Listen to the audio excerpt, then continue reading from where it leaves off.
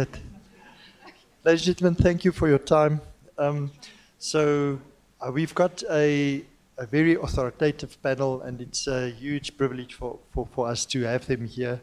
Some of them I know quite long, since the uh, was it Technikon days? I think when it was still mentioned. Uh, we don't have those anymore. And uh, and welcome, and we look forward to sharing with us. We we have Kerrigan McCarthy here from NICD that will share some some uh, perspectives with us. We've got Lucia Anelich from Anelich Consulting. We have Wouter Conradie from NSF Africa, and then Blaine van Rensburg from Sovereign Foods, and then Linda Jackson as well. Um, that's also going to share some quite personal experiences with us um, in terms of her endeavors with regard to culture. So we're starting with uh, Kerrigan. Um, uh, we're going to use the same format. She's going to share a presentation with us, and then we're going to have a, a discussion. So you're welcome. So thank you, Linda and Ryk, and uh, the audience. Lovely to be with you this afternoon. Um, I wanted to uh, show just a few slides, um, and I'm not sure who's pressing the button for the next slide. Um, but one of our um, one of the things that I wanted to primarily share with you is what is the role of the National Institute for Communicable Diseases? Um, what is the NICD and what do we do insofar as food safety is concerned? Obviously, um, a few of you, or there might be those amongst you who'd never heard of the NICD before the Listeria outbreak. And uh, with us sort of being catapulted into the limelight, um, it's left the, the general public with quite a number of misconceptions about what we do.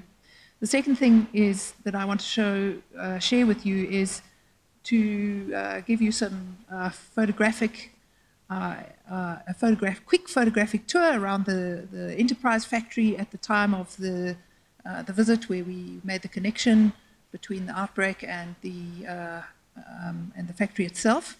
Um, and quickly, in, in a sentence or two, just share with you where their lapse of safe food safety was um, and then uh, go through the timelines, what happened and when. So um, the NICD, what do we do? Um, if you go to our website and you look at our uh, mission statement, you'll see that it says there that the NICD is a resource of knowledge and expertise in regionally relevant communicable diseases to the South African government, SADC countries, and the African continent in order to assist with planning of policies, programs, and to support appropriate responses to communicable disease problems and issues won't see food safety, environmental health anywhere in there, and that is because that's not our role. Our primary role is around uh, doing surveillance for communicable diseases, and diseases mean people uh, in this context. So we don't look at animal diseases, we look at human disease, and we look for cases of human disease. Our second role is outbreak investigation. So we got catapulted into the Listeria outbreak because uh, we were doing surveillance for human disease. Listeriosis was one of them, and we noted that there was, in fact, an outbreak.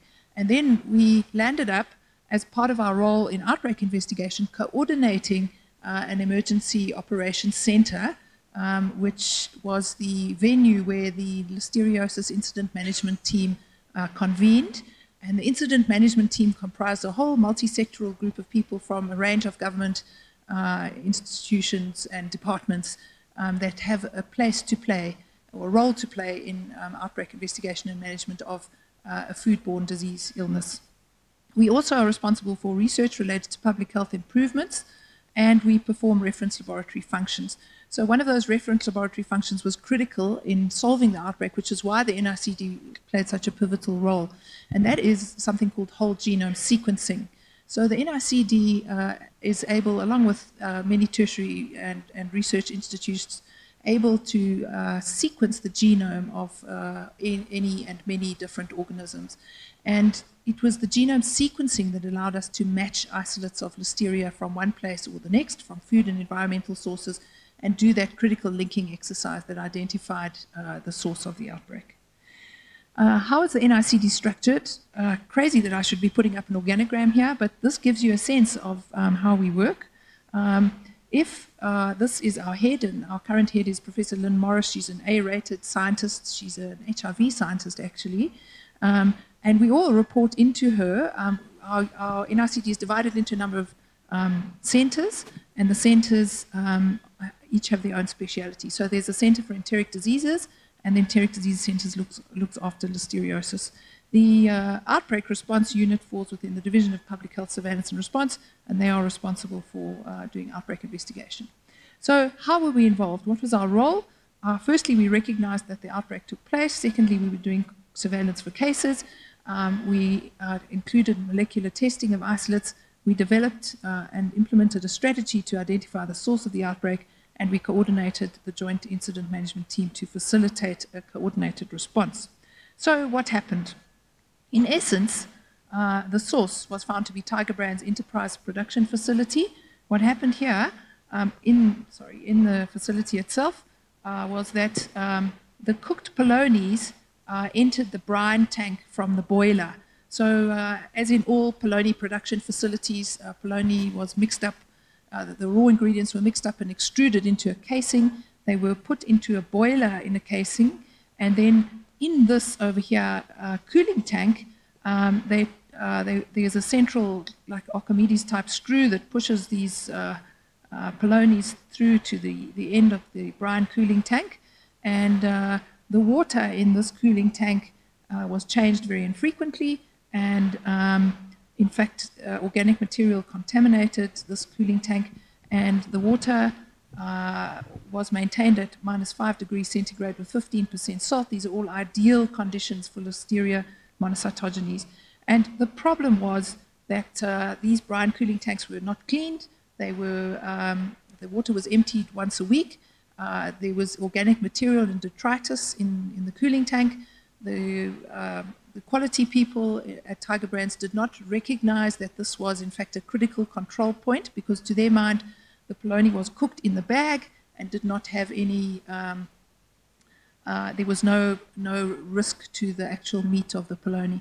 But what actually happened was that during the uh, cooling process, the polony shrunk and uh, some brine from the uh, cooling tank entered into the, the, the, ends of the polony chubs, and then the exterior casing got contaminated with listeria. And of course, then uh, it uh, permeated through the entire distribution uh, network and uh, caused a whole lot of cross contamination in the retail and home space, um, resulting in the biggest outbreak of listeriosis um, in the world. Um, so you can see using this epidemiological curve, oh dear, sorry, that the uh, um, that the outbreak itself began to die down uh, after the uh, recall was announced in March, and currently um, the outbreak is over um, we're still continuing with surveillance. So outbreaks of listeriosis are globally amongst the most challenging to investigate because the incubation period of the disease is long, the diagnostic testing uh, has a long turnaround time, it's expensive and requires collaboration amongst multiple stakeholders. Uh, food sources are often obscure, and what we found was that industry is often not cooperative because lots is at stake. Uh, multi-sectoral collaboration is necessary to conduct these investigations. Um, so this over here is a timeline superimposed on the epidemic curve um, so that you can see uh, what happened. Um, one of our, uh, uh, I always say that behind every uh, outbreak there is a, uh, a, a, behind every dark cloud there's a silver lining. Behind every outbreak there are always lessons to be learned and things to take home and prepare to avoid the next outbreak. Um, there's lots being done behind the scenes to, to uh, make food safer, and hopefully um, this discussion will uh, lead to uh, highlighting some of those. So thank you very much. Um, hope that's uh, a good enough mm-hmm. overview. Thanks, Kerrigan. Thanks so much for that. Um, I, of, of, course, on a lighter note, if you saw the uh, press release two weeks ago that there's no L. mono anymore, did you see that one? So it's sterile now for all practical reasons. Um, may I ask you, uh, and it may be a bit of an unfair question because you mentioned specifically what your niche and responsibility was. But in terms of the, the influence of culture and maybe what you've seen and what you've grasped from, uh, uh, what do you think is the influence and what do you think we can do in terms of, of, of also collaborating with you in, in terms of setting a better food safety culture? We've seen um, a lot of different role players here even in the US, we've seen much closer movement of industry to, for example, like the FDA, realizing that we need to start talking to, one, to each other. So your, your, your perspectives on that. Uh, we, we visited a number of facilities and uh, obviously engaged a lot with environmental health practitioners. And there was a definite um, disparate uh, approach to food safety uh, across the different companies that we engaged with, ranging from uh, we not at risk to uh, appropriate, what I would call appropriate vigilance. And uh, I overheard a little bit of the last talk. I can't emphasize how much uh, food safety is uh, an essential part of uh, our modern day culture and society. Um, I think uh, one of the challenges that people in the food production industry face um, is that there seems to be a very remote connection between the manufacturing process and the consumption process. And that disconnection leads people to take their responsibilities around food safety lightly. One of the um, the sad things that we had to do was interview uh, patients who had had listeriosis or mothers who had lost children, and it's completely disheartening um, and, and tragic to realize uh, and to speak firsthand with mothers who had lost children, um, uh, stories of people, mothers who never ate polony themselves, but they used to put polony sandwiches, uh, make polony sandwiches for their children. Um, uh, children themselves between the ages of 1 and 15 who got listeriosis because they were fed polony. Uh, these are all the innocent bystanders of uh, food, poor food safety culture. And I think the food industry has not taken food safety seriously enough. Um, and we've made world history in, in a very infamous way because of that. Thank you. Thank you, Kerrigan, so much. We're going to let you off the hook because you're on your way. I think you've got another appointment. Thank you so much for your contributions, but you're welcome to stay and listen further. Thank you so much. So we've got Wouter. Wouter, uh, welcome and thanks for your your in, your um, inputs, and thanks for, for, for, for also being on our panel. Um, Wouter will share with us uh, some ideas from the um, NSF, and we hand over to him for a for a brief presentation. Thank you. Thank you, Ryk. Um, so far today, we've had a lot, we have heard a lot about what food safety culture is. But how do you measure where your company is in terms of scale or compared to others? Uh, the maturity model was developed about five years ago and, was, um, and has helped many companies to establish where they stand in terms of their culture and attitudes towards food safety. So how did the model evolve? we kept looking, looking at hundreds of BRCs, IFS, SQFs, and FSSC reports, trended all the recurring non-compliances and food safety issues and asked why. Why do some companies keep failing on certain things? We re reviewed the reports and trended the non-compliance data, and we also reviewed um, significant food safety incidents to ask, what is it? And what, that's how we came about the framework of the maturity model. And then we fine-tuned it and made it more sophisticated for over a period of years. So um, what is the model? It is basically four generations of maturity measured against four markers. We use it um, in all the food categories of manufacturing, retail, restaurant, hospitality, you know, the, the wine industry, meat industry, and so on. It is not a technical assessment. Whilst you got technical walkthroughs and things like that, it's about providing a clear gap analysis and a roadmap of all the actions that people got to do based on the methodology, which I'll explain in a second. The reason companies do this is interesting. Some that had a crisis, who may be in a reactive mode, might want to look at something like this in a way of trying to recover their position that they got themselves in. Or again, other reactive reactions could be we got a near miss in terms of food safety, or they may have had a major recall, which wasn't caused by any food uh, uh, by it doesn't cause any food safety problems or anything, but it's been a withdrawal rather than a product recall. Then proactively, companies may want to um, want an objective, independent, and tested organizational diagnostic to say, where are we? what do we want, where do we want to be? And again, that links to culture. Do we have the this is how we do things here type of culture? So it's really understanding the company and putting the risk, uh, the, the food safety risk in the context of financial and brand risk. Um, so this shows you the broader bullet point definitions of what the culture generations are. Generation one, no formal policies, variable standards, budget for food safety doesn't exist. It is a cost-driven culture, and there is no real budget for food safety. So each one of you can now try to see where you fit in uh, on, on this scale.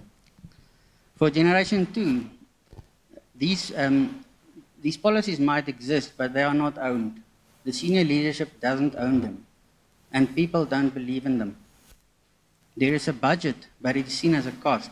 And when you talk to some people, you get questions about the high cleaning and sanitation cost and how much does it cost to get a good quality manager. Standards are always seen as impractical, and quite often people uh, work around it. In generation three, you get the that the policies exist, you get management commitment, better communication, and probably good food safety management at senior middle management level, but not necessarily at the top. And internal and external audits are used effectively, and they are making that positive, proactive steps forward. Whereas in generation four, basically you are looking at an industry leader, fully committed, leading edge policies and standards, excellent communication, and commitment across all parts of the business.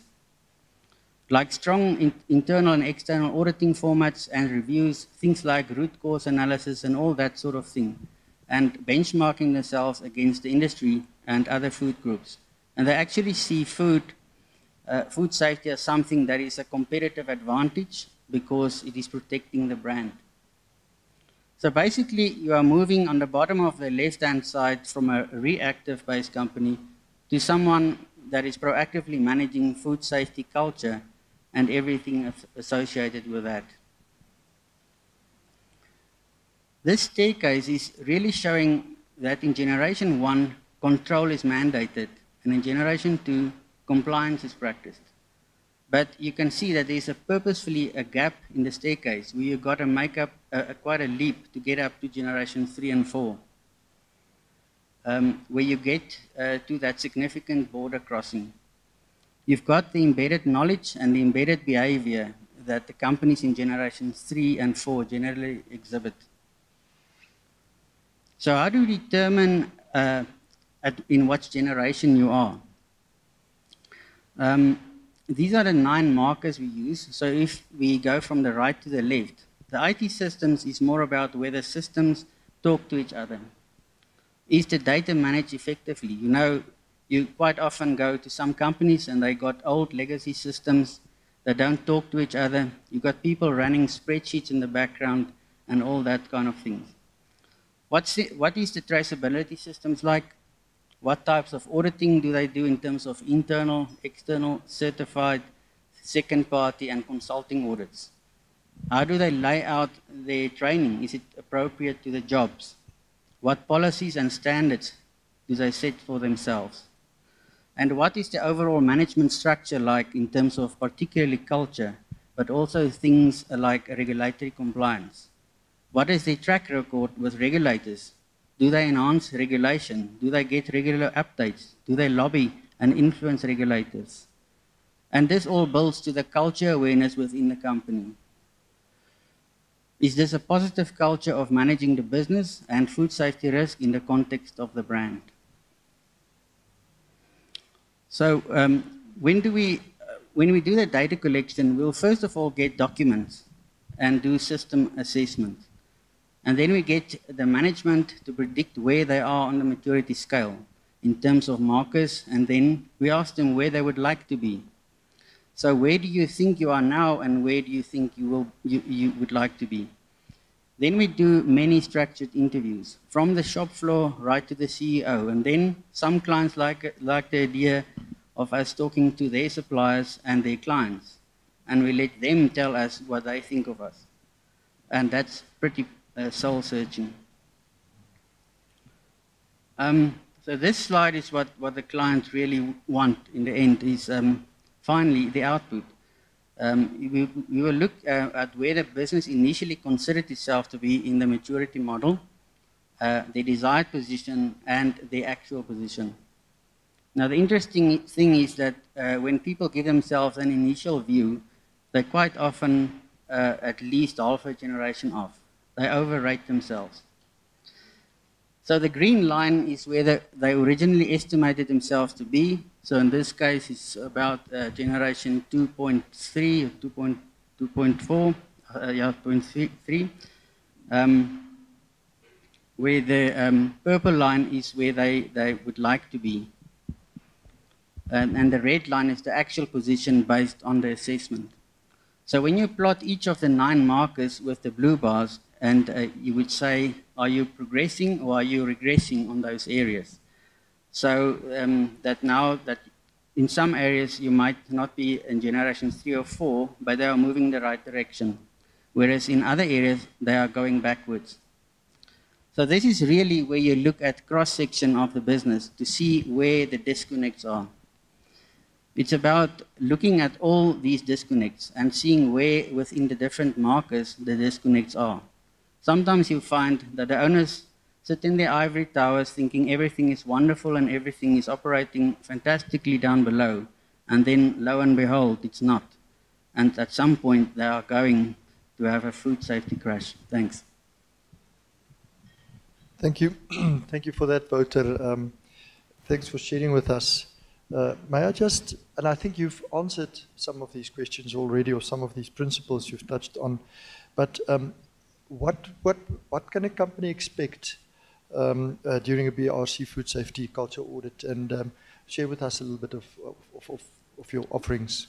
Okay, as you know, the, the, the current version of the BRC standard um, already has a food safety culture assessment in, but it's voluntary.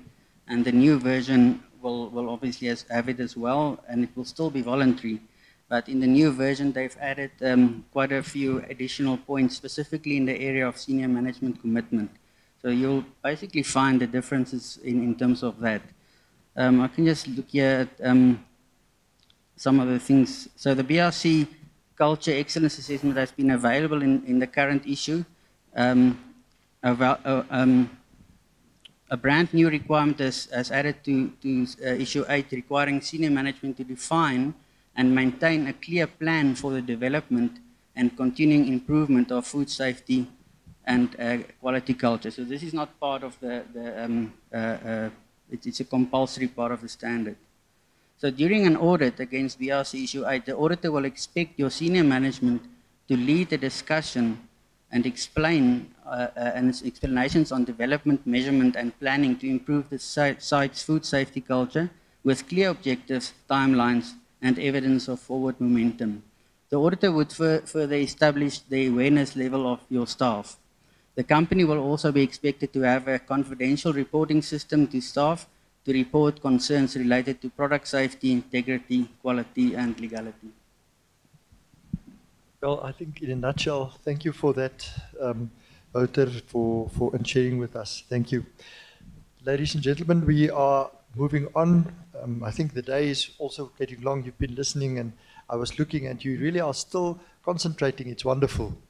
Um, can I, uh, it's my pleasure to go to, to hand over to Professor Lucia Anelich, um, which is also Lucia, a big advocate of food safety and a leader in our country with regard to this, also um, abroad.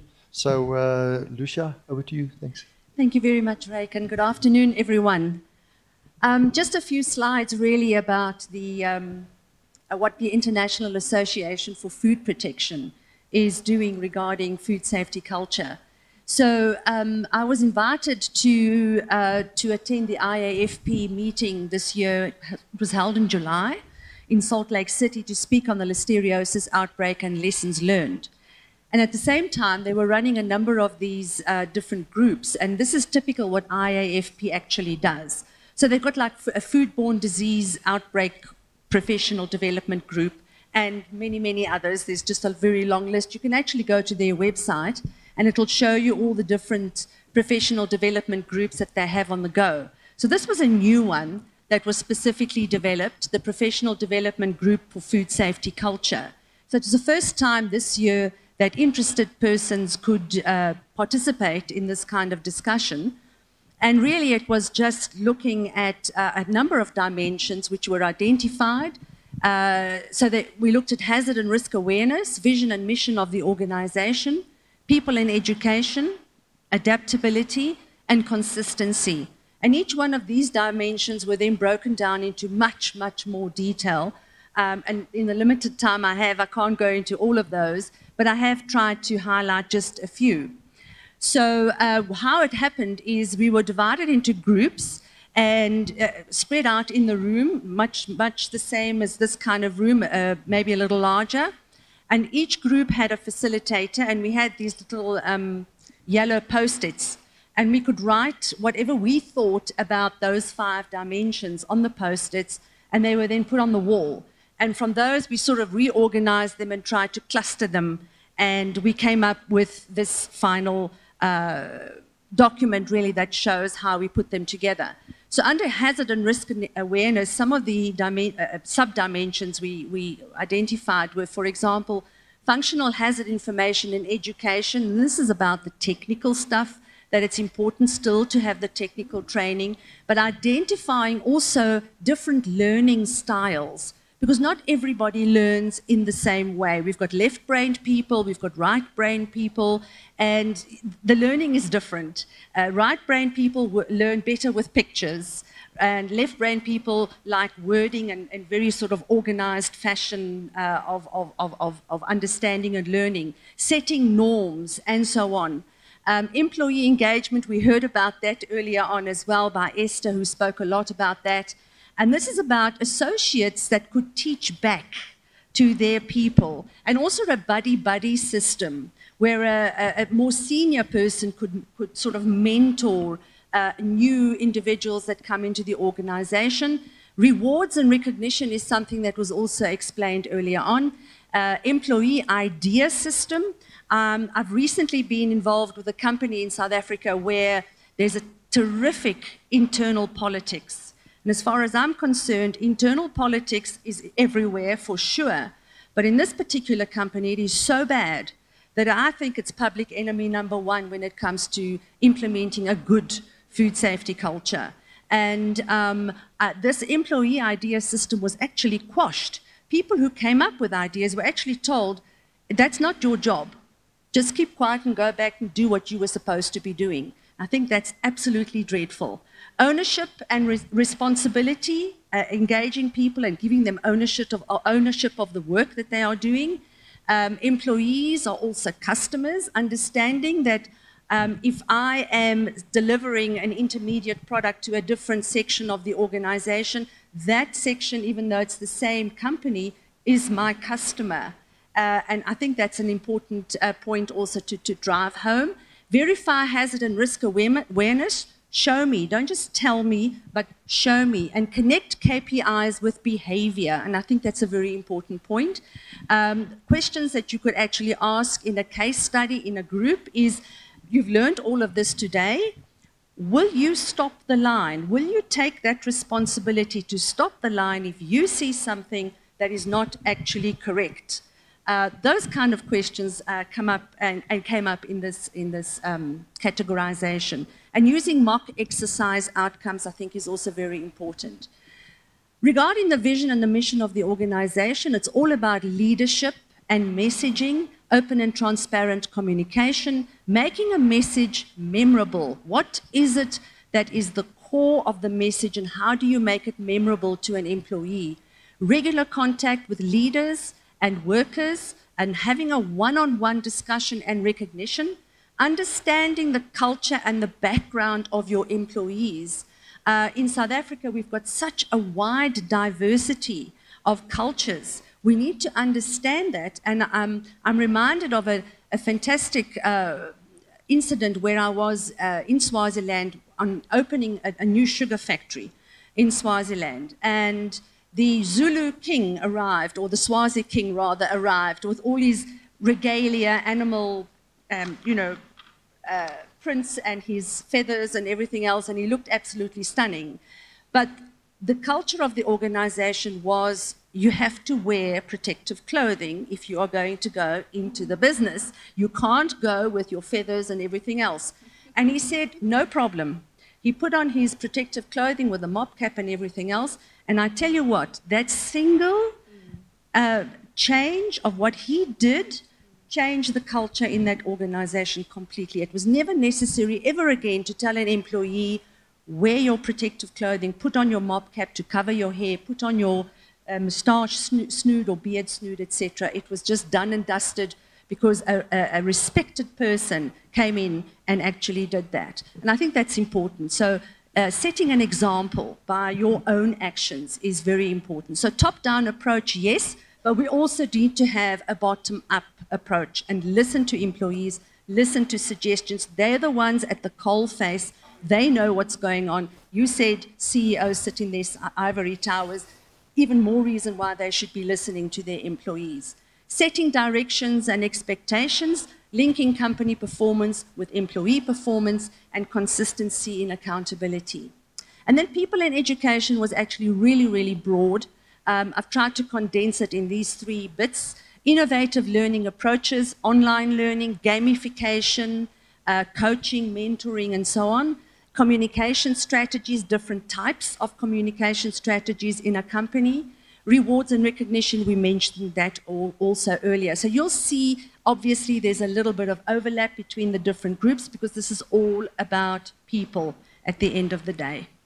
Adaptability was communication to enable effective change, like empowering team members, motivational strategies that could be implemented, having burning platforms where uh, these discussions can be held, end to end ownership and dialogue, continuous improvement mindset that was really important, and I must say that was highlighted quite a lot during these discussions. And then consistency, a food safety culture strategy should be implemented. Uh, there should be information access and sharing new information. And then, of course, we've already spoken about rewards and recognition, but there should also be consequences linked to KPIs, also mentioned in a previous slide. So those are the five um, dimensions. So what are the plans going forward? Well, basically, this professional development group uh, would need to refine a little bit these uh, five dimensions and all the, uh, the portions that have been identified beneath those. Uh, the idea is also to develop some best practice documents that will then be um, available freely for anyone to download them from the IAFP website. Um, working groups would probably be also formulated and developing also a knowledge and competency framework. Some articles will most likely be written uh, in, in journals and in also popular magazines. And then, of course, further IAFP symposia have been um, mooted as an idea to go forward and to promote this uh, food safety culture uh, activity that this professional development group uh, would be doing for future. Thanks very much. Thank you. Thank you, Lucia. Um, you were mentioning the methods to create a culture and thinking out of the box. We learned this morning from uh, also from Benny Anderson, uh, um, uh, out of the box thinking. I remember Linda and I, and this is a true story. When we went for training, we had to write a song together. Really, we had to write a song and we had to perform the song for the entire audience, a song on culture and the type of culture. So it just shows you how you can be put on the spot. Um, Lucia, thanks so much for that presentation. In, in terms of your opinion in South Africa, and uh, uh, um, especially on management level, how ready are we to engage with the issue of food safety culture? I don't like to generalize. I think there are some companies in South Africa that are already on the on a, a, good road, a strong road towards a positive food safety culture, to use the psychological terms of negative and positive rather than good and bad. Um, I think, though, there are still some that are not even close. Um, and as I mentioned, an example, and there are others as well. I think also um, food, food, food safety in South Africa has unfortunately been um, mostly in the, in the realm of industry. So industry is heavily self-regulated in this country because of the lack of enforcement of regulations. Um, so it's always really been uh, a question of I, I just need to do the minimum in many, many cases. Um, and also because HACCP or a HACCP-based food safety management system is not mandatory in this country across the board. And I've had a recent discussion on this with, with, with a, a, particular industry sector. And I suggested that we should actually promote this uh, across any forums we come across, like FLAG, etc., where I do serve.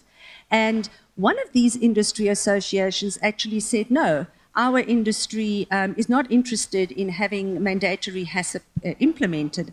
And it's actually a high risk industry. And I thought to myself, how is this possible? So there are also vested interests, and we have to be aware of those because those are also going to influence a positive food safety culture or implementation of such a culture. So we've got so many things to take care of. Um, also, uh, there is a company, uh, a multinational, that has done an investigation into the failures over the past 20 years in their business. And 70% of those failures were due to a human element. And, and it's true, you can actually see this in most, most cases where there's a failure of, of, of food safety. So, yes, food safety culture is definitely needed. Um, I, I, think it's a question of um, companies may not realize they need it. They are ready for it, but they may, might not realize that they actually need it. So it's almost like, you know, admitting that you're an alcoholic. When you do at least admit you're an alcoholic, it's already 50% of the battle won. And I think food safety culture is almost falling in the same realm. So, um, yeah, that's my comment about South African food industry. Thank you very much, Lucia. I think you've put it very nicely in a nutshell. And we've also seen this, this denial in some of these cases coming from some uh, of our top managers and leaders. Um, ladies and gentlemen, we're moving on. Uh, our next uh, presenter is Blaine van Rensburg from Sovereign Foods. And uh, thank you for coming, Blaine. We hand over to you. Thank you, Ryk. Um, yeah, I moved chairs because I wanted some of Lucia's knowledge and experience to rub off. um, I just I didn't have my notes with me because they're all on the computer. So yeah, just a, um, a, little introduction to who Sovereign Foods is. Um, for those of you who don't know us, um, we were inadvertently dragged into the, the onset of the, the listeriosis issue. Um, and by hook or by, no, not by crook, but by thorough focus and, and effort and communication, we managed to, to work our way through it alongside um, regulators and, and, enforcers as well as our customers because um, these things have the potential to, to damage the brand um, irreparably. And I think there's enough examples of that around the globe as well as in South Africa today. So, um, so just a, an introduction of who we are. So Sovereign Foods is a, a, vertically integrated broiler producer. So for, if you don't know what that is, it's We've got the, the breeding stock, the hatcheries, the feed mills, um, the broiler farms, the production outfits, distribution, sales and marketing, etc. So we take care of a whole, a whole host of the supply chain. Uh, we've got three plants. We do about 1.8 million birds um, a week. And uh, yeah, we we do it's a, about 11,000 tons worth of, of uh, products, depending on on the the, the slaughter schedules, etc. But across a wide range of different products, both primary, secondary, and further processed. And these are in fully cooked format, in raw, fresh, and frozen. So um, quite a smorgasbord of risk that we, we have, to, we have to take care of. Um, from a, a, compliance perspective, all three of the plants are FSSC 22000 um, certified or accredited. I'm never sure which, which term to use. Certified. Thank you. Um, and from a health and safety perspective, we, have run both of our plants at uh, NOSA five-star level, um, one of which is running at NOSCAR. So we've been focused on getting external validation of what our processes are for quite a long time now. Um, yeah, from a from a, an investment or commitment perspective, financially, we, we put a lot into our, our facilities and our, our compliance programs. So 18 million rand over three years is just centered on food safety compliance. Um, we do around 2 million rand a year worth of just microbiological monitoring. Um, we've got 53 quality or quality aligned staff, including inspection and validation staff. So, um, with all of this in place, doesn't mean that we're perfect, doesn't mean that uh, we're the best out there. We still get things wrong, because if we didn't, I would have been here for the morning session. So I had to appear before a, a customer and please explain why we did badly in a, in a systems audit and what we were doing about it. So I really wanted to be here, so um, thank you for indulging me and, and, letting me be on the second, second panel. So a little bit about sovereign foods and food safety culture, um, and it really just it starts out with our, our vision and values. So we've really, probably for the last seven years now, been pushing food safety, quality, efficiency, and a number of different values as a core competency for us as a business. Um, to the extent that we, we built it into our performance reviews from a T8 right up to a T24 level. So the, T, the CEO is going to be around a T24. T8, for example, would be just below artisan level, so machine minders, supervisors, quality staff, etc. Excuse me, etc. So from that perspective, we, we try and assess, and it's very difficult, and I'm, I'm intrigued from what I've heard of the, the few presentations so far, on how to measure compliance with um, or a food safety culture. And some of the things that we've included in our performance reviews have been both a, an upward and across assessment of how people are living those values. So positive and negative examples uh, that people don't assess themselves, but they assess their superior or assess their peers on positive uh, contribution towards the values or positive, what's the word I'm looking for, um, demonstration of, of the values as well as negative, so that we can work on them together. And from a quality perspective, um, we believe that quality and food safety, for that matter, is engineered in, it's not inspected in. Um, to this end, we, we actually have production aligned quality monitoring staff, and those staff report to the production people. So I can sense a, a, a bit of uneasiness in the room, and we believe that because production people can't be everywhere all the time, and they need eyes and ears on the ground to help them pick out where things are going wrong, escalate it for their attention so they can take action. Um, the, the control we have in place is that we have a, a, system of validation quality staff as well that would go around and independently check that these things are happening. Um, again, they also can't be everywhere at all, at all times, so we have, let's say, somewhat, something of a fail-safe in place to make sure that we a pick up problems, b react to problems, and escalate them where things can't be be, be dealt with timelessly. From a customer satisfaction perspective, that's both internal and external, um, making sure that we deliver against our, our customer requirements, and we we service a whole a whole wide range of, of industries from retail, wholesale, food service, QSR, um, both local and internationally. So, trying to digest the expectations of customers, put that into your, your food safety management systems, and then express it as an output for, um, for your staff to go and live is something that we, we try and focus very hard on, and it's, it's, it's a continuous effort. Efficiency, um, this is really just saying what we do and doing what we say. Um, the, the, the production people in the room would look at efficiency and say, no, I want my numbers, I want my output, I want my results efficiency doesn't do that at the cost of quality and food safety. So that's why the, the, the values are in a circle, and it's all centered around achieving our vision.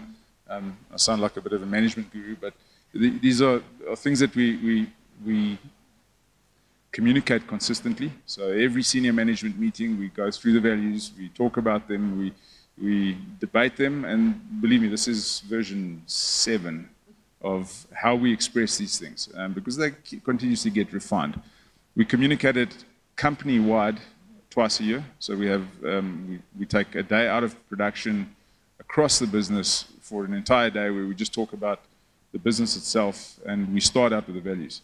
So we we highlight areas where we believe we haven't been quite as um, consistent as we'd like in terms of our values. Uh, yeah, self-belief that's really just about confidence. You know, we have confidence in the things we've implemented, and where we haven't implemented quite as well as we, we would like to, um, we have the confidence in our abilities to go in and fix the problems in, a, in as quickly, a, in a, as timely a manner as possible. And team success, this is, um, I think, what uh, one of the previous um, speakers was referring to, is that uh, one department succeeding at the expense of another, um, and how we, we try and eliminate that from tying, by tying all of these, these efforts together. Um, yeah. so from a, from a, a, values perspective, they really are foundational in terms of what we want to achieve and how we want to achieve them. Um, and nothing is, is, is, is, a sacrificial lamb in this, in this instance. So, um, you know, firstly, starting out with, with, respect, how we treat each other, how we work together as teams, um, how we converse, how we communicate. It's, um, it's something that we, we, we've been hammering hard on. Um, but, you know, the, the experience is how people come into our business and assess us from the outside. And those um, feedback sessions are often quite enlightening. We have a strategy process once a year where we send out consultants to go and speak to our customers. And they talk about us and how we approach business with them and how our products serve the needs that they have and how we compare with uh, people across, uh, across the industry. And uh, the learnings that come out of that go straight up to a board level. Um, and we have a number of initiatives, which I'll talk, talk to in a minute, that, that escalate to a board level as well. So what does this all practically mean for us? So awareness is obviously a big thing from a food safety perspective. And how do you consistently communicate that to every level of the organization, uh, both up, across, and down? Um, we have obviously training programs, and uh, you, know, you, can never do enough training. Um, but the financial people always say, well, you can always do too much. Uh, and uh, I mean, I, I, think it was Richard Branson that, that said, well, one of his employees were complaining, well, what if we train people and they leave? Um, and his response was, well, what if you don't train them and they stay? So, so it's something that we, we, we, we obviously try and put enough effort into um, making sure that we're out there with the, the latest inputs from a, from a, food safety training perspective. Uh, we don't get the opportunity to do that as often as we'd like, but where training is done, it's done in production hours. So we take people off out of their jobs, put them into a, a facility where there's no dis distraction, no disturbances, and give them the exposure to the food safety legislation, the, the standards that we're trying to achieve, etc., and give them the practical tools to manage food safety incidents going forward. Induction programs, this is maybe a, a, little bit more superficial than the in-depth training, but every employee that comes into the business goes through an induction process. Um, we give them our food safety policies. Um, we take them through a short presentation around what food safety means to us. And that goes right down to the general worker on the floor um, at a, a, little bit of a lower level. Dissemination of information, uh, how do we share what we're seeing from a food safety perspective? Customer complaints are all brought in, they're all logged, they're all shared across um, a variety of platforms. And uh, the, the teams that work around resolving food, food safety issues or customer complaints see everything. So we don't exclude anything. And where there's a particular food safety incident that is serious enough, that gets escalated to the CEO level. And we have a quarterly review with the CEO across all of our food safety issues, customer complaints, and micro, microbiological trends so that he's aware of where we're sitting, where our challenges are, and where we're requiring support both financially and just you know, in terms of time and space. Then diversity programs, um, having plants in different parts of the country, um, I was amazed at how different the approach needs to be in certain areas. Um, work ethics are different, understandings, understandings are different, um, you know, cultures are different, and practices are different. So you need to take all of these things into account. And we run diversity programs um, at this stage mostly at a, at a, senior to middle management level so that we, we help people foster environments where, where teams can work together without getting into confrontations. Communication mediums. So this is where we have a couple of, of things that uh, allow people to, to voice their concerns, raise issues, um, whether they want to be anonymous or not, it's up to them. Um, so I have an ethics hotline that bypasses the entire management team, ends up straight on the board's table. Um, we have a Talk to Us, which is a, a company-wide um, utility that, that, can go online and talk to us. They can have a written submission. They can communicate on a number of different platforms about anything. It doesn't matter what it is. They can complain about the, the lunch in the canteen. They can talk about um, you know, medical aid. They can talk about whatever they want. And some instances of food safety have started kind of bubbling up in, in, in these discussions, which is great, and uh, we encourage it. Um, suggestion boxes we do have. Um, I haven't had great success with it, to be honest. Um, we, we end up with um, quite strange suggestions that are not related to anything remotely uh, food safety at this stage. So, um, but you know, we, will we'll keep trying to give feedback via our, our, um, our industrial forums using the, the food safety teams as well as the shop stewards. And then company-wide dashboards. So we, we're in the process of, of implementing um, enterprise risk management system, which takes all incidents into account, both health and safety and food safety. These dashboards would be visible to anybody anywhere across the company for to see how we're doing. Um, so I'm looking forward to seeing the output of that probably in the next two to three months. It's been a quite a, a process to try and try and encapsulate everything that we wanted into this process. And then, uh, yeah, food safety and quality structure. I've spoken about production owned and QA validated, so I won't go there. And then open door policy. Um, my door is always open, um, and our QA staff will, will tell you that they're free to come and raise any issue with me at any time. Um, I have production staff walking off the floor into my office all the time to say, well, yeah, can you help me with this? Or I've seen that. So, um, and that's that's common across our, our business. So it's it's not something that um, we tried to implement. It's happened by default because we, we run a pretty flat organizational structure. So staff have access to you all the time.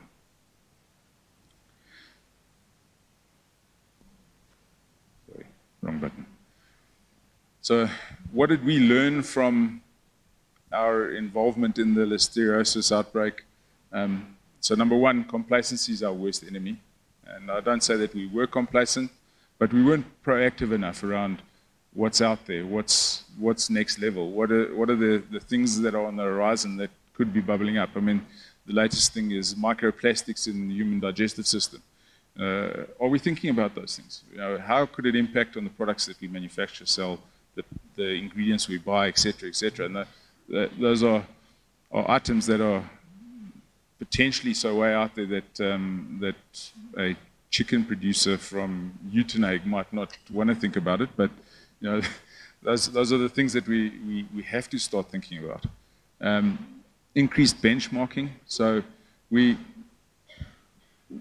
we find it very difficult to benchmark what we do locally because most facilities and most systems and most other producers have closed doors because we're competitors. So so we, we do quite an extensive effort to benchmark ourselves globally. Um, and in many organizations, the global travel is, is the exclusive preserve of the executive.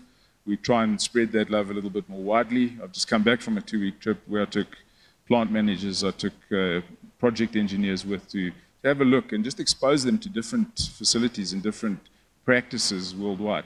And I'm still amazed at what I, I see. Um, I walked into a facility in Italy that's doing 27,000 birds an hour, um, massive plant, and uh, put shoe covers on, put a, a, a, lab coat on with a hairnet, walked to the plant, no hand washing, no, no boot washing, um, into a facility. You could pick up product, handle it, and walk out. And this is a, a European producer. Um, if we did that in any audit in this country, you'd get crucified. Um, and you think, well, take a step back and ask why, why do they do it? You walk through that poultry plant, and uh, for those of you that have seen a poultry plant, it's often not a pretty place, but it's wet. This factory was absolutely bone dry. Um, the floor was dry, the, the product was dry, the conveyor belts were dry. They put a huge amount of effort into just keeping moisture out of the process. And you know, those are little things that, that kind of stick with your production people and making sure that they can see what's achievable with, with you know, not that much effort. Continuous improvement is exactly that. Uh, you've never arrived, you're always on a journey. Um, it's about, well, I've gotten to my, my goal, so what's the next goal? Where do we need to go next? Then, from a, a regulation perspective, go beyond what's expected. Um, our our regulatory framework in this country, as has been pointed out on a number of occasions, is lacking. Um, and the poultry industry in particular has been self-regulated in many respects for, for far too long. Um, but regulations are just the baseline. It's just the absolute minimum of what's expected. Customer requirements on top of that are very often, and for those who've been through food safety audits with uh, the retailers would understand that it, they're a lot higher than the minimum. And what I'd suggest is go beyond that. You know, have a look at exceeding those expectations in many respects, setting higher standards for yourselves. Then reevaluate, redesign, re-implement. Um, we have black swan events like listeriosis that came out of left field and really shook us um, from, a, from an industry perspective or a company perspective. Um, look at what those particular things could be and think around how, how we're going to cope with that. And then when it, if it comes out of left field and takes you by surprise, go and redesign your processes because it, it's, it's required. It's, it's an obligation and you know, today's system is not necessarily good enough for tomorrow. And then changing culture is hard. Um, yeah, the, the facility that we, we brought on, on board in, in October 2015 was where the, the, the uh, listeriosis hit home for us. And it's, it's hard to integrate new teams into, into an existing food safety culture um, because they come with baggage. And you need to help them unlearn a lot of that and relearn a whole new, whole host of new um, habits. Then, just so just in summary, for us, food safety culture is not a de destination; it's a journey. Um, and to steal a quote from from Jim Collins, uh, you've got to confront the brutal facts because you're going to have them. As good as your systems can be, you're going to have moments where you, you are surprised by things and where things don't go according to plan. Just face the facts, deal with it, and then work as a team to get past them. And I think Lucia pointed out top, top down and bottom up approach. Um, management can create a framework with, within which food, uh, food safety culture can flourish. Um, they can provide the support and the financial backing. But unless there's freedom at uh, a base level for people to come up with their food safety issues, you're going to have a ivory tower scenario, as, as uh, Lucia pointed out earlier. Thank you. Thank you, uh, Blaine. Just briefly, um, your, uh, give us an idea of the rest of the, your, uh, your opinion of the rest of the chicken processing industry outside of your own company and what the situation is there, and I may be unfair. Or I think I should have checked the attendance register before I venture an opinion. No, I'm joking. I, I think in, in reality it's going to be on a continuum from very little food safety culture to um, something around proactive and positive. Uh, many of the major producers would be dealing with retailers um, that have a lot higher standards, standards than the minimum. QSR um, um, customers that um, have even higher standards than that. So I think you're going to find pockets of, of excellence. You're going to find pockets of apathy. That's, uh, I think, in reality for, for any, any industry. Um, for, for a, a producer who, who's doing 2 million birds a week or, or 1.5 million uh, birds a week or 500,000 birds a week. If you look at the South African poultry industry as a whole, 95% of the productive capacity is probably taken up in the top 12 producers. So, and within those producers, you'll find still a variety of different approaches to, to food safety. And uh, I think the, the, the, recent history has both shaken them as well as their customers. And certainly what we found is that customers are, are asking a lot more thorough questions about, uh, about food safety incidents than they have in the past. So some room for improvement still. Thank you so much. And our last presenter, ladies and gentlemen, thanks, Blaine, is uh, um, uh, the, the, the, lady of the moment, uh, Linda Jackson, um, and she's going to present to us uh, some of her perspectives and also share with us her uh, trials and tribulations and efforts, really having a passion for food safety culture, the issue of culture, the issue of empathy, and how she, via her company and her colleagues, tried to establish this uh, in South Africa. Over to you. Thanks, Ryk. Actually, I, am going to highlight more in, you know, in, in terms of the international perspectives and just really showing what we need to be considering. So these are some quotes just taken from um, the international trends.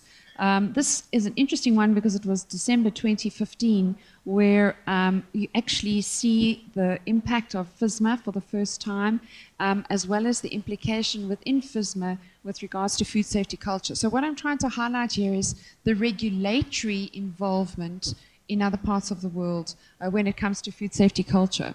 So this is the Americans. Um, we, Wouter's spoke through uh, a, a, little bit with regards to the BRC model and, and how that's been um, looked at. This is obviously a voluntary model.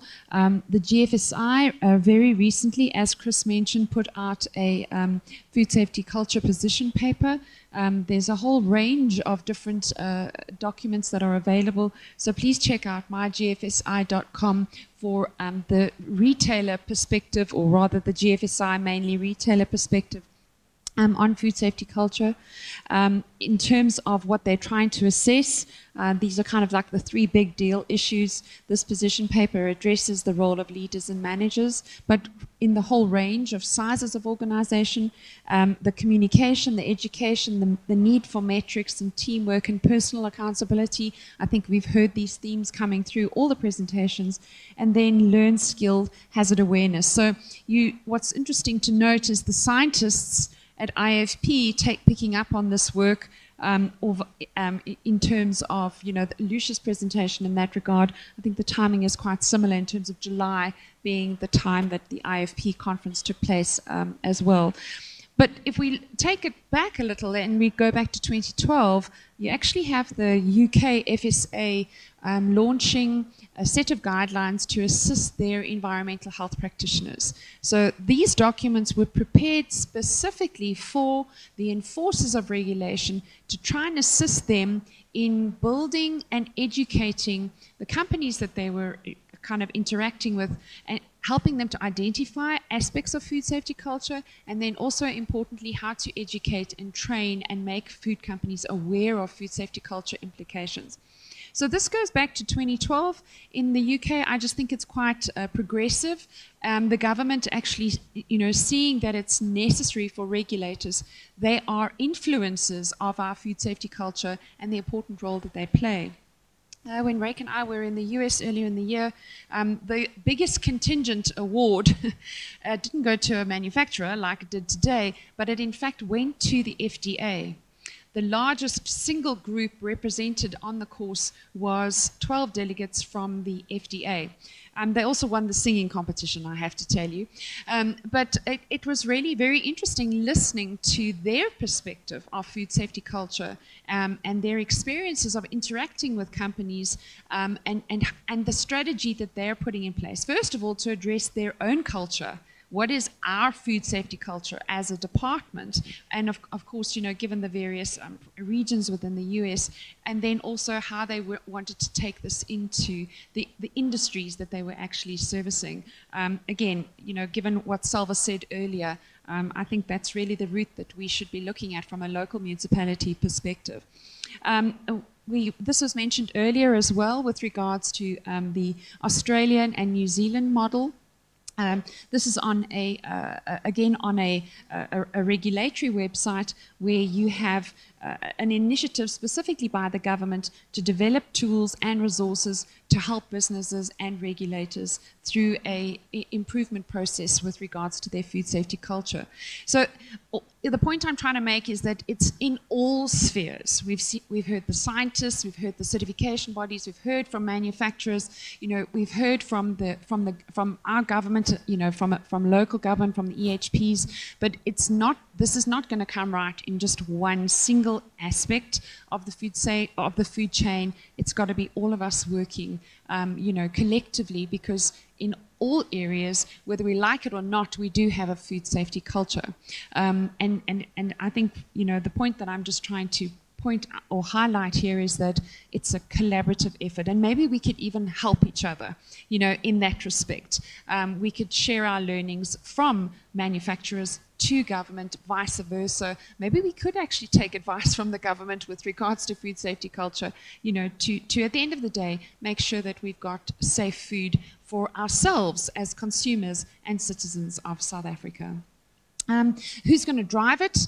Uh, well, I'm, I'm hoping that, you know, um, you and me that we're going to do this, that we've seen, you know, the need. Um, we've got companies that are sitting here that are, have taken the lead. Lucia mentioned that, you know, there are definitely pockets of excellence out there. There are companies that are doing great things. There are companies that are prepared to teach, which I think is just so great um, because we can all learn from that. And, and I think that, you know, we're, if we're going to sit and wait for someone else to do this, uh, it's not going to happen. we've seen this in the past. You know, let's start doing something about it. Let's start in your company. Let's just take some of these principles that we've learned today and let's take them back home and let's try them. Let's take a risk. Let's see if it works. Let's actually talk to people. Wow. Let's actually talk to our employees. Let's actually ask them how they're doing today. You know, let's catch somebody doing something right instead of focusing on the negative. You know, why don't we have a Hall of Fame? Um, and why don't we actually highlight those people that are doing the right things? You can do that. You, as a quality manager, can change your tone. You can change your conversation. You know, how often I've had an experience where I've walked through companies on audits, and the quality manager, the way that that person is addressing a staff member, if it was me, there's no ways I'm going to cooperate with you if that's how you talk to me. Where's the respect? Where's the respect from the quality manager to the team that actually has to implement our food safety management systems? I know you get frustrated, but let's remember, you know, respect, maybe that'll buy us a lot more. You know, my sort of standard uh, uh, effect with regards to maintenance is a lot of chocolate cake.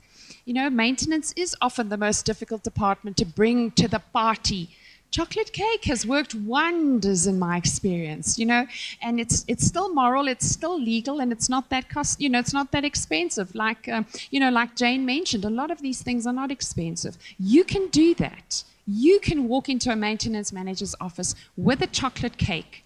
You can surprise the living daylights out of that person and you might just get done what you need to get done.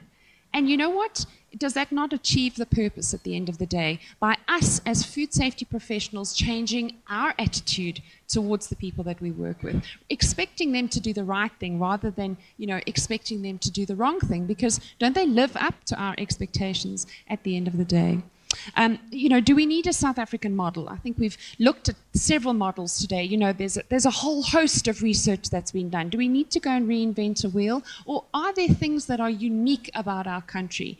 We've spoken about the cultural diversity and how this impacts on the organizational culture of a business. And do we need to take this into account in, in how we, first of all, measure where we are on this continuum, and then what tasks or, or what initiatives do we embark on in, in going forward? And then, you know, my take on the role players is that it should be a, an inclusive um, activity. This tragedy has impacted uh, on us all. And so it should be all of us that are going forward and looking for better ways to improve food safety, uh, you know, in South Africa. Thank you, ladies and gentlemen. I think that's it for, for, for this. Um, can I can I, can I just uh, uh, give uh, uh, Linda also just a chance for one question? And, and, and this is, uh, I think, one that um, she's got a lot of experience in. We know one another about 15, 20 years, and she introduced me, for example, first to the Chris Griffiths and the Frank Yiannases, which I'm very thankful for. So this has actually been happening for a number of years already. Her experience about about how wonderful you are to come to the table and participating and her experience from industry side and different bodies in trying to establish this uh, on behalf of Food Focus. Uh, some of, just very briefly, some of your, your experiences. Well, I don't, uh, yeah, I'm not good at this kind of situation. I just think that I feel we should be building bridges and not walls. And my experience of the uh, outbreak has been that we've built more walls and not enough bridges you know, unfortunately, the Department of Agriculture were supposed to be here today, and I have to eh, tender apologies on behalf of, of Billy. His flights were uh, changed, which means he was um, kind of stranded in Australia. Um, the Department of Health expressed a lot of interest at the, at, the, at the conference, but unfortunately, when we've asked them to present um, and to be part of the process, they haven't been forthcoming. And I think this has been a huge frustration throughout the outbreak where we've asked for input, but we haven't, you know, we haven't had it. So I just want to build bridges and I don't want to build walls. And if you can walk with us and we can build bridges and not build walls, I think, you know, I'll, I'll, I, I kind of like will feel we've done our little bit. So, you know, Food Focus at the end of the day is just a platform to share information. It's a website that just really shares information collaborates, tries to, you know, kind of put everybody in a place where we can uh, share information. And, and I really think that that's the role that we would like to play going forward in, in this particular process. Enough about me. Let's have tea.